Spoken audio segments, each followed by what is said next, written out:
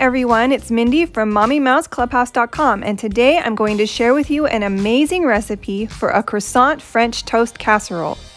This French toast bake is perfect for weekend brunches or holiday breakfasts because it can be made the night before and baked when you want it in the morning, all with ingredients you probably have in your pantry. And then we're going to top it off with a delicious caramel syrup. Now make sure you have hit that subscribe button and let's get started.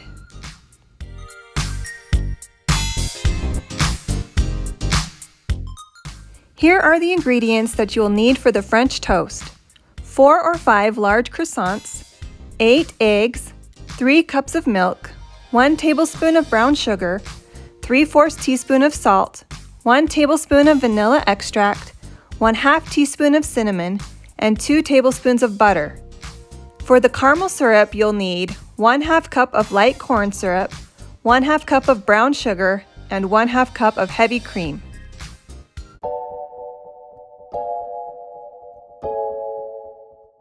A large bowl, whisk the eggs, milk, brown sugar, salt, vanilla, and cinnamon. Or you can mix these ingredients together in a blender.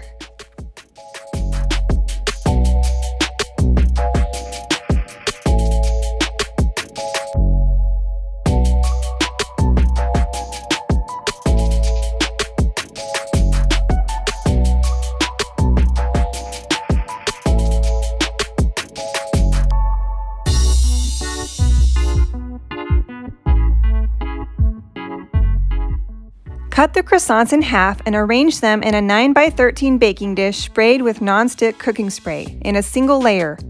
Cut the croissants into smaller pieces to fill in any gaps if necessary.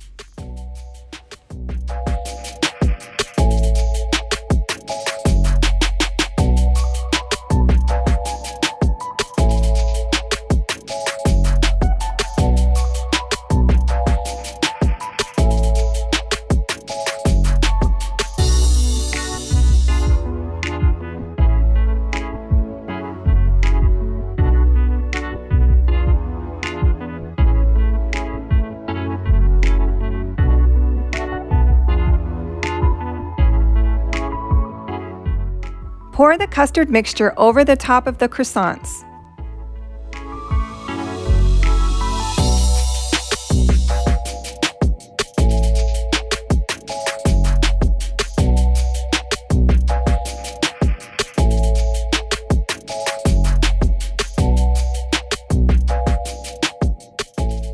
Cover the dish with plastic wrap and refrigerate for at least 4 hours to overnight.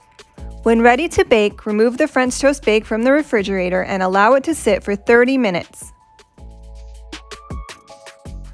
Bake the casserole uncovered at 350 degrees for 45 to 50 minutes until it is a deep golden brown.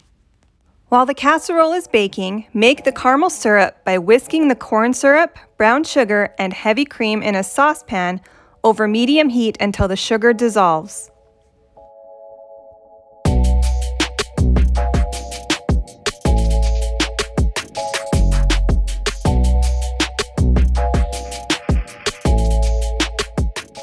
When the casserole is ready, remove it from the oven and brush the top with melted butter.